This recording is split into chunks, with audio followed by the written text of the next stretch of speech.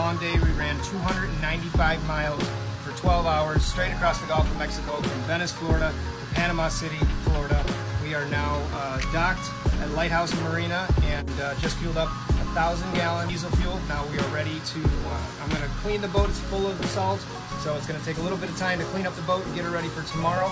I am currently in the engine compartment of this boat. It's unbelievable. It's massive. This, these are two huge Cat C18 engines. Hard all day today, about 20 knots. It wasn't too harsh. We knew about 27 knots uh, top end. We were going about 20 knots in five foot waves, but we had a blast doing it. This boat's an absolute beast. No problems handling the waves. Um, engines ran great. It's super hot in here. I'm about to go out and clean. I think it's time for a beer. And uh, you wonder why we need to clean boats in the saltwater every single